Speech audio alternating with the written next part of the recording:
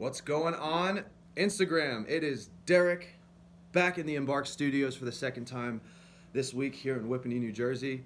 I am excited to be with you guys. I'm uh, uh, producing my own set today, a little bit more up close and personal. Um, for those of you who were not with us on Monday, had a great session with Embrk Essentials. Uh, we talked about the most important or the most common question uh, that that a lot of young adults, a lot of youth, a lot of people have, uh, and we'll get to that. Really, just laid the foundation. Before we get into the word today, uh, I wanna I wanna pray, and I want to uh, for all of us to open up our hearts and our minds to start receiving uh, the word that the Lord has for us. Today is going to be a meaty, meaty uh, session. Um, all of the resources, all of the scriptures, everything that that I go over today, and everything that I went over on Monday will be listed in post to follow. But this is going to be a session that you're going to want to watch over and over again to get these scriptures planted within your spirit, to, med- to meditate on them, so that you can start to build your life on them. So, Father, I thank you for the time that I have here with my brothers and sisters. I thank you. I thank you for the ability that, that we have to gather, uh, not even in person, but to gather using the technology in this, in this day and time where we can press into you, where we can seek your kingdom, where we can seek your face, where we can learn your word and we can hear your preaching miles apart from each other. And that we can go back again and again and again and receive good preaching and good teaching. Father, I thank you for the word that you've given me. I thank you for the revelation that you've given me. I thank you for what you've shown me. And I thank you for using me as a vessel to deliver it to your people, to set them free. I thank you for the word that will proceed forth today. And I, I decree and I thank you that the, the soil that this word will get planted in, the, the soil of people's souls and the soil of people's spirits, is good and clean soil, that there may be no corrupt thing within the soil to choke out the seed which is planted, but that each seed may be planted, may begin to germinate, may grow, and will grow to produce a 30, 60, yet 100 fold return, so that we, as the unified body of Christ in this last hour of time, may move as a singular unit, may, may do your will here on the earth, may bring heaven down, may bring heaven from out of us and redefine the world around us by the, by the kingdom of heaven that you've placed within us. Father, I give you all the honor and the glory for this, that you, that, that us as your unified body, that the world will look at us and know that you sent your son to die for us, and that the world will know that you love us just as much as you love him. Father, I thank you for making us your children. I thank you for, for unifying us by your name as a singular body, as a Holy Ghost Terminator army of the body of Christ in this last hour of time to go out and reap the greatest harvest of souls that this world has ever seen. We pray this, we agree on it, and we thank you for it in the mighty, awesome, wonderful, phenomenal, stupendous, undefeated name of Jesus Christ.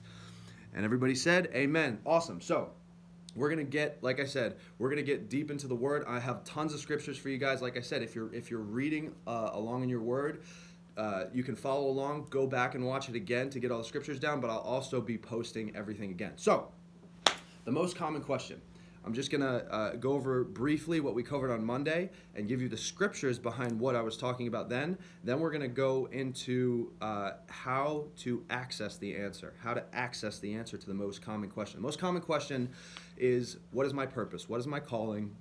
What, what am I created to do? What am I here for? And really, uh, we as believers, we need to know the answer to that. The only reasons that people stop asking that question is because they either are confident in the answer, which majority of people, majority of Christians aren't.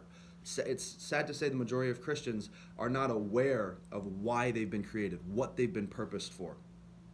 So the uh, the reasons we stop asking that question is because we either know the answer or we don't know the answer and we don't believe that there is an answer, so we stop asking, or we get to a point where we think that the answer doesn't even exist, which is why uh, it's a prevalent question with youth and young adults. Um, but you find with a lot of adults, a lot of adults are not living in their purpose, but they're not asking the question because it's been so beaten out of them by the world that they, they a lot of them don't even believe that there that there is an answer to that question. Now,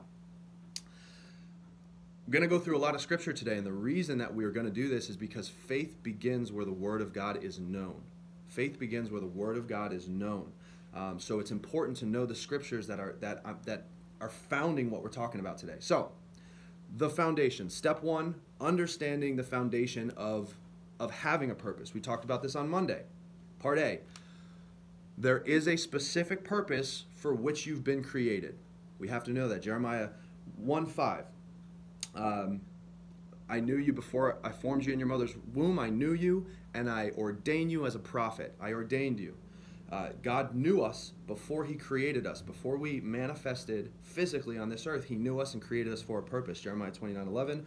I know the thoughts I have towards you. I know the plan I have towards you, says the Lord. Plans, plans for hope and a future, to plans to prosper you. John uh, John 17, 4. And like I said, if you if you have your Bible, flip around. If not, go to go just jot these down and, and study them on your own. You want to see them with your own eyes. John 17, 4.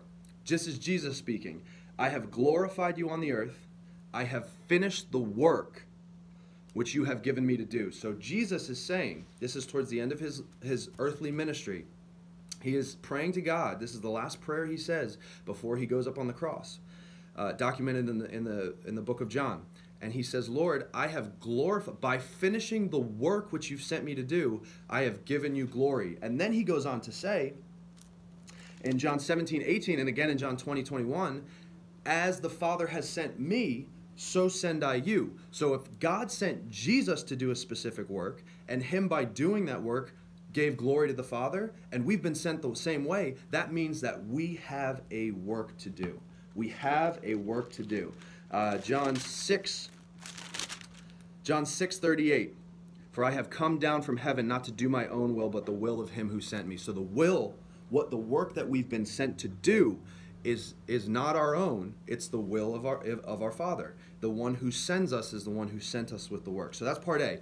There is a specific purpose for which you've been created. Part B. Your purpose being fulfilled. First of all, it's up to you. We talked about God is not in control. That video is, is on YouTube.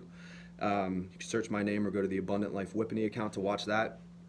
Your purpose being fulfilled, which is up to us, will have a direct or indirect impact on the amount of people that make heaven.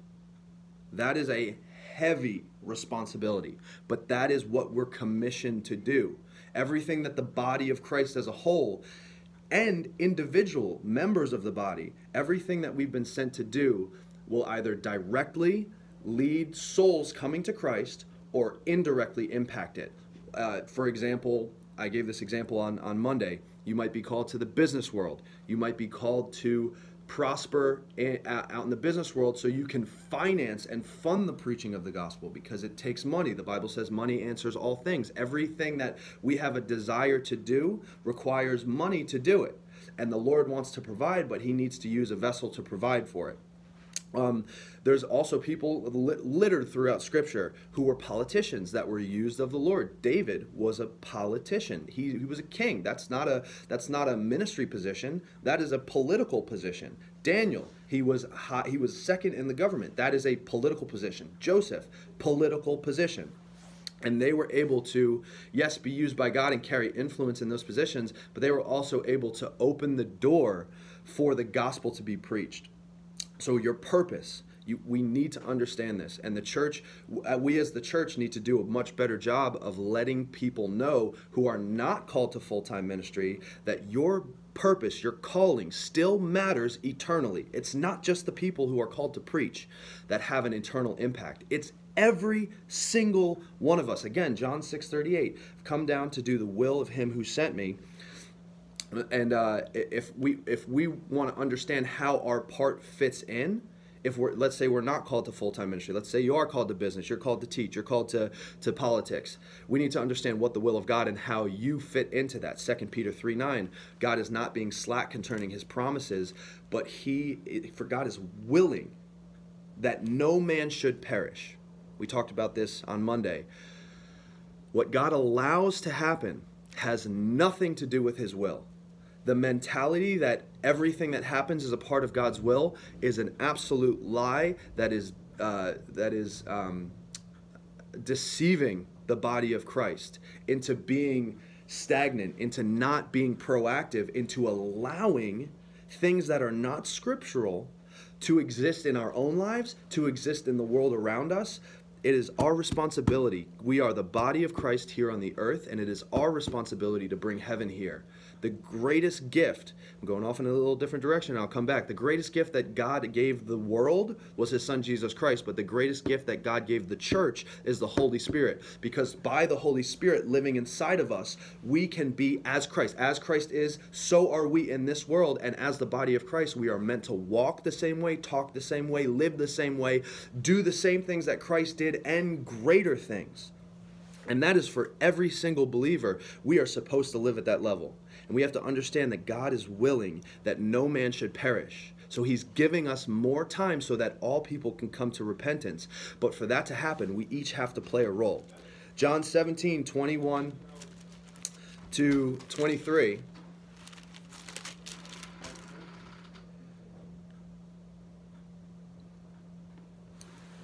Jesus again, Jesus is praying. This is the last prayer he says before he goes up on the cross. I do not pray for these alone. I do not pray for just these disciples, but for those who will believe in me through their word, that they may all be one, as you, Father, are in me and I in you, that they may be one in us, that the world may believe that you sent me. Just like we prayed in the very beginning, God wants the world to believe that he sent Jesus. And the glory which you gave me, I have given them, that they may be one, just as we are one. Talks about being unified. I in them and you and me, that they may be made perfect in one, one perfect body, and that the world may know that you have sent me and have loved them as you have loved me. again, that's John 17, 21 to 23. Flip over to 1 Corinthians chapter 12. Uh, we're going to read ver- uh, verse 26. It's talking about the body of Christ now. The Apostle Paul is writing to the church at Corinth. And if one member suffers, all the members suffer with it. If one member is honored, all the members rejoice with it. I would read from uh, 1 Corinthians 12, 12 to 26 for the sake of time, just going to highlight that one verse. That each member, again, I said this on, on Monday when people ask me, what, well, what's my purpose? I don't care what your purpose is. I don't care what it is. And that's not saying that I, I, I don't care about you or I don't care um, that you're fulfilling it, but I don't care if it's one thing or the other. I believe that you have one, and I want and I and I really care that you're living at the highest level and you're pursuing it with everything you've got, so that we can, as a body, uh, be be be unified. If one member suffers, all the members suffer. So if you or me is not living up to the level of which we've been created to live, then the entire body suffers. And this is reemphasized in in uh, book of Ephesians, chapter 4, verses 11 to 16. Uh, for the sake of time, I'm just going to read 15 to 16. But speaking the truth in love, we as the body may grow up in all things into him who is the head, Christ, from whom the whole body, joined and knit together by what every joint supplies, according to the effective working by which every part does its share, causes growth of the body for the edifying of itself in love. You have a purpose. You have a, an important role to play. It does not matter what that role is, it, but it matters that you identify it and that you walk in it because it affects the rest of the body. Love this quote. I don't know if I came up with this on my own or if I saw it somewhere. I didn't write down a name after it. But if you are doing, if what you are doing with your life is not assisting the body of Christ in winning souls to Jesus, you are not walking in your calling. And we all need to realize that. Okay, so A, there's a specific purpose for which you've been created. B, your purpose being fulfilled will have a direct or indirect impact on souls making heaven. And C, God desires for you to your fulfill your purpose even more than you do. We have to get rid of this mentality that God teaches by destruction, that God that, that He makes us go through chaos. Yes, He makes us go through process, but the process does not always involve messing up. Process can simply be honoring the people who he's put above us, list, obeying them. God honors obedience, and he's put people in our lives who, who have wisdom and who have the Spirit of God within them to guide us and correct us.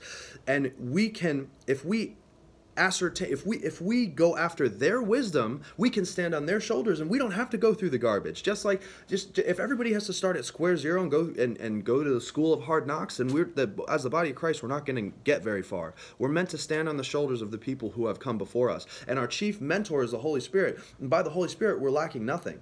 By the holy spirit we lack nothing. We can live we can walk through this life without even stumbling. Again god desires for you to fulfill your purpose even more than you do. Why? Because as a member of the body of Christ, because your purpose is linked to souls making heaven, those are his children. Those are his children. He created you for that purpose. So he wants you to fulfill that purpose. Psalm 37 4.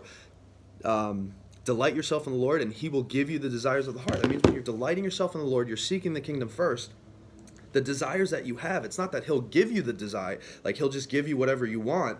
He, the desires that you have when you delight yourself in him are literally planted there by him. He is he is he is a, a good father. If us if we they believe this is matthew 7 11 if we being wicked if we being evil can give good gifts to our children how much greater gifts can god give to those who he loves uh, God can give to us who ask of Him, but we have to ask of Him. Uh, another one, God, God uh, above all, beloved above all things, I pray that you would prosper and be in health, even as your soul prospers. God wants us to be progressing. There's one more that I have written down here, and I need to reference it. 1 John 5, uh, 14 and 15. Now, this is the confidence that we have of Him, that if we ask anything according to His will, that we know that He hears us and that we have received what we petition for Him. So when we pray and we say, God, I know it's your will that no man should perish, I know that my purpose is linked to souls making heaven. Reveal to me my purpose. We can say confidently, God, because I've prayed according to your will, I know that you hear me, and I know that you, you are revealing to me now by the Spirit, by your word, by every way that you speak to me. You are revealing to me exactly what you put me on this earth to do because it's in your best interest, because it's in everyone's best interest, because it's your will, because you are a good God. All right, that is the foundation. Step two, and this is what we're getting to today understanding how to access the answer. We talked a little bit about this on Monday. The only way to access the answer is to lay down your life. And quite simply, laying down your life is not the willingness to jump in front of a bullet, but laying down your it is included in that, being willing to sacrifice yourself, but it goes deeper than that. Laying down your life simply is sowing into your spirit and killing your flesh. Jesus lived a perfect life. He lived a perfect life because he made every single decision with his spirit and not with his flesh. Matthew, I'm going to throw a lot of scriptures at you real quick and then uh, we're going to wrap up. Matthew 6 33. Seek ye first the kingdom of God and his righteousness, and all these things shall be added unto you. When we seek after the kingdom of God for our purpose, understanding the foundation that we just laid, we can seek the kingdom because we know that our purpose is found there. It's when we start to chase things for our own benefit. But you look at the things that people are chasing in this world. They're chasing love, they're chasing health, they're chasing prosperity, they're chasing abundance, they're chasing promotion. These are not bad things. God wants you to have them. But if you will seek the kingdom first, and and who, who, your identity in him and what you already have you'll realize that in the kingdom of god all those things already belong to you and if you seek the kingdom and the establishment of his kingdom on this earth he'll simply give them to you because they already belong to you john 15 John 15, 13.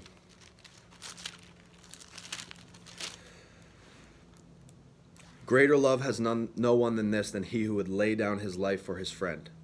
Greater love has no one than this, than he who would lay down his life for his friend. 1 John 3.16, we know love because Jesus laid down his life for us. John 6.51, tying this all together. John 6.51, Jesus says that the, the, um, the the bread that he will give is his flesh. So he we the Bible's saying that we we know love because Jesus laid down his life for us. But he's saying the bread that he gave was his flesh. So how did he lay down his life? He gave his flesh, not just on the cross, but for 33 years. John 17 19, I sanctify myself so that these may also be sanctified. I set myself apart. Setting yourself apart, laying down the flesh, sowing into your spirit. This is how we lay down our lives. Philippians 2, verses 1 to 8, talks about how Christ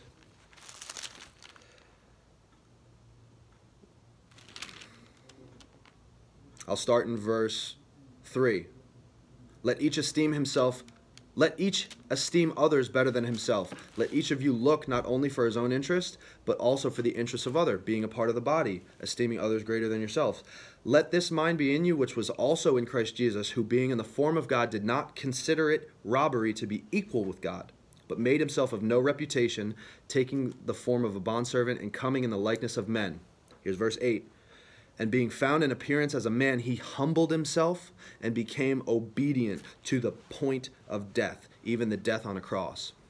When Jesus was up on the cross and he said, It is finished, he was not talking about just that one act of being crucified. When Jesus says it is finished, he's talking about the 33 year process of laying down his life on a minute to minute, second to second, decision to decision basis of every single decision he made killing his flesh and sowing into his spirit. Why? Because he was motivated by the, the, the impact that the, every decision would have on the body of Christ. Ephesians chapter 4, 22 to 24.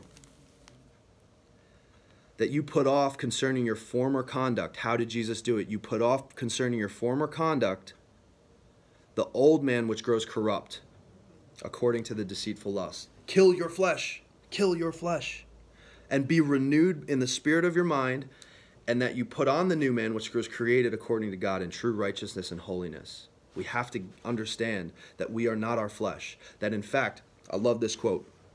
This is a uh, Jonathan Shuttlesworth quote. For those of you who know the uh, great evangelist Jonathan Shuttlesworth, the only struggle that we have as Christians, the only one, if we get this, everything else falls in line. The only struggle we have as Christians is to not let our flesh dominate our spirit. How simple is that? How simple is that and how hard do we make it? 1 John 3:18. 1 John 3:18. We talked about this last time too. Little children. This is right after Jesus said by but or I'm sorry, the apostle John writes, "We knew love because Christ laid down his life for us." Then he follows it up and says, Let us not love in word and in tongue. Let us love in deed and in truth. It's not about what it, it's. Yes, our words are powerful. Out of the abundance of the heart, the mouth speaks. But it's not just about the words. Actions speak way louder than words, and faith without works is dead. So it's about receiving a transformation, receiving the revelation within us, being transformed within us, that it changes the very actions and the deeds that we do so that we can lay down our lives, sow into the spirit, kill the flesh, be, literally beat our flesh into submission so that we can we can fulfill our purpose. Now, all right. So, how couple practical how to lay down your life tips. How to sow into your spirit, how to kill your flesh. I uh, listed six. I'm sure there's more. Um, but these are six that are very clear in the Bible on how to kill your flesh, how to sow into your spirit, how to strengthen your spirit man, how to seek first the kingdom. It all starts with hunger. We know Jeremiah 29 11. I know the thoughts, I know the plans that I think towards you. Obviously, he has a plan for us. Jeremiah 29 12 and 13, though, equally as important. He says, Then, you know I have a plan for you. Says, Then you will seek me and you will pray to me and I will listen. You will search for me and you will, will, guaranteed, will. He doesn't say you might, he says you will find me when you search for me with all of your heart. With all of your heart. Um, so it, it, it starts with a hunger. This is the work, the practical stuff. This is something that no one can do for you. This is why the answer to what are you created to do, I can't tell you. I did not create you. I can simply tell you this is how this is the blueprint that God gave us. He wants us to know, he wants us to know his will for our life. He wants us to know what our purpose is, and he gave us the instructions on how to how to access it. It's right here. We got to get back in the Word and know what this says. That's why I'm giving you so many scriptures. You will find it. You will find me when you search for me with all of your heart. So, hunger is first one. Second, right choices. Psalm 4 5 says, offer a sacrifice of righteousness. I love what Bishop Anne Gimenez says about righteousness. She says, righteousness is simply right choices. And the choices, the choices that we have to make, will always be between our spirit and our flesh. Righteousness is choosing our spirit. It's that simple. Right choices. three practical things study. How do we lay down our life? We lay down our life by studying, by getting in the Word. John 8, 31 and 32. Everybody knows the truth shall set you free. That's not complete. If you back it up a little bit more, it says, You shall know the truth, and the truth shall set you free. Still incomplete. You got to take it one more verse before that. Jesus says, If you are my children, you will abide in me. And Jesus is the Word of God. So, how do we become free? How do we be empowered to make the right choices? How are we empowered to live in our purpose? We have to abide in the Word of God, abide in Jesus. Then we will know the truth. And then the truth will make us free. But it all starts with abiding in the Word. John 17 17 uh, echoes this. He says, Sanctify them. This is Jesus praying to the Father. Sanctify them by your truth. Your word is truth. We are set apart by the word of God. So we have to have that being sowed into us. So study. Another one, prayer. Luke 22 46. This is Jesus praying in the Garden of Gethsemane. Um, and the disciples fell asleep. And Jesus uh, rebukes them. He says, Could you not even pray with me one hour? He says, Why do you sleep? Rise and pray, lest you enter into temptation. Our spirits are not do not yield to temptation. It's our flesh that yields to temptation. So Jesus is saying here that if you pray, you will prevent yourself from falling into temptation, then obviously prayer is a way that we can sow into our spirit and not into our flesh, especially, especially praying in the spirit, praying in tongues. Roman, Romans says that we do not know what to pray, but the Spirit wants to play, pray through us, for us, to God, on our behalf. So if, you're not baptized in the Spirit, you need to get baptized in the spirit. Jesus has before going up to heaven the last thing he told people the last thing he told the disciples was go and dwell in jerusalem and don't do anything until the, the promise has come. Because without the promise of the holy spirit we would have been ineffectual. Peter would have never had the boldness to preach that sermon. He still would have ran. We need the power and the boldness everything that the holy spirit carries. So praying in other tongues prayer especially in other tongues. Another one fasting. John 4 34. The, uh, the disciples at this point offer food to Jesus, and Jesus says, I have food of, to eat of which you do not know. And his disciple, the disciples reasoned and said, Has anyone brought him anything to eat? And he responded, My food is to do the will of him who sent me. We know we're sent. We know God has a will for us. We know that uh, uh, he, he wants us to finish his work, and by doing the will and doing the work that we've been sent to do, it gives him glory. Fasting uh, is a lost art in the church. But fasting and prayer, there's three things that Jesus expected us to do by what he said. He said, when you give, when you pray, when you fast. Fasting and prayer together, fasting and prayer together is the quickest way, the fastest way on my own experience and the experience of many others, and also in Scripture. Fasting and prayer is the quickest way to kill your flesh because the strongest desire of the flesh is to eat. Strongest desire of the flesh is to eat. Oh, wow, I'm very over on time, so I'm going to wrap this up now. Last thing Romans 8:13. These are all ways to, to, to lay down your life, to kill your flesh, to sow into your spirit, but it all has to start somewhere. Romans 8:13. For if you live according to the flesh, you will die. But if by the Spirit you put to death the deeds of the body, you will live. all of this has to be done by the Spirit. So we need to be led by the Spirit. We need to be filled of the Spirit. We need to be baptized in the Spirit if we truly want to lay down our life.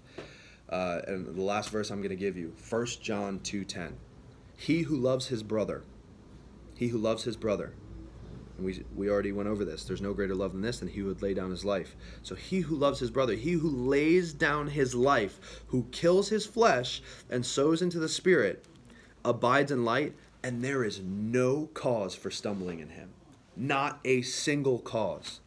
There's no, because the person who understands that they are a part of a body who has been sent to the earth to carry out the will of God, and that everything they do affects the rest of the body and affects the people who aren't not part of the body yet, and, and reaping a harvest of souls and seeing more people go to heaven. The person who understands that walks in the light and there's no cause for stumbling in them because we understand the importance of sowing into our spirit, of making our decisions with our spirit. So, I know it's a lot of scriptures, I know it's a lot of meat. Um, I'm like I said, I will post all of this on my own personal account. You can follow me on Instagram uh, at Derek McGibbon, D E R E K M C G I B B O N. You can also follow the Embrk account. They will post the the, the notes as well.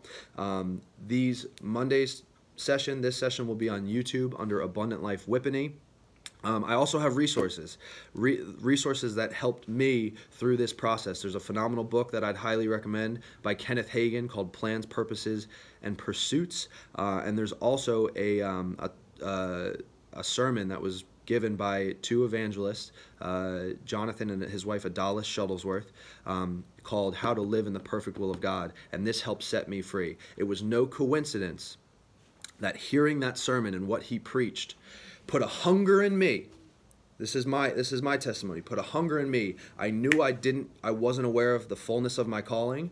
So it put a hunger in me to seek seek the will of god. I went on a five day fast and it was on that five day fast where god called me to preach. This essential this is not the first session that i've done.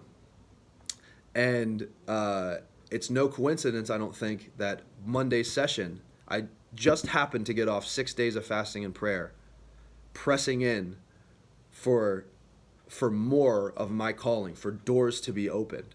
Fasting and prayer, the hunger, making right choices, laying down my life, being led by the Spirit is the only way that we can, as the body of Christ, do the work that we've been commissioned to do, do the work that we've been sent here to do. And when we realize that and we choose that, there's no cause for stumbling in us. So uh, I know you're depending on me. I'm depending on you. We need each other. We need each other, and we need Christ as the head and the Holy Spirit within us. So I love you. God bless you. Follow up on those resources. If you want to watch that video by Jonathan and Adalis Shuttlesworth, it's posted on my Facebook wall currently. Uh, I think I titled it How to Live in the Perfect Will of God. Next time we're here, we're going to be talking about how you can make one decision for the rest of your life. And th- this was all the foundation for that. One decision, one decision for the rest of your life, and that'll carry you through. Um, so I love you. Dios te bendiga for my Spanish followers. Uh, we will see you soon. God bless you. May God richly bless you and keep you.